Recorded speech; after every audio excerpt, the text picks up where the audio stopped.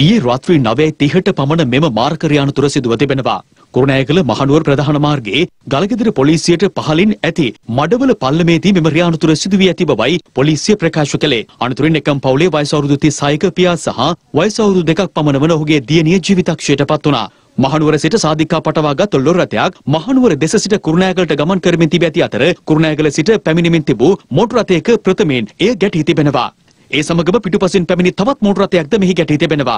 එක් මෝටර රථයක් පදවා ඇත්තේ කාන්තාවක්. එම මෝටර රථයේ මෙම කාන්තාව සහ ඇගේ දියණිය සිට තිබෙනවා. අනෙක් මෝටර රථයේ එකම පවුලේ පියා මව සහ දරුවන් දෙදෙනෙකු පැමිණ ඇති අතර අනතුරින් මිය ගොස් ඇත්තේ එම මෝටර රථයේ පැමිණි පියා සහ වයස අවුරුදු දෙකක දියණියයි. අනතුරින් මෝටර රථ දෙකෙහි පැමිණි සිව් දෙනෙකු බරපතල තුවාල ලබා ඇති අතර ලොරි රථයේ රියදුරද තුවාල ලබා තිබෙනවා.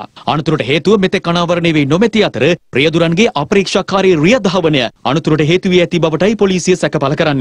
දිනපතා අලුත් වීඩියෝ සහ ප්‍රවෘත්ති නැරඹීමට ඉහත බටන එක කලික් කර සියත TV සබස්ක්‍රයිබ් කරන්න.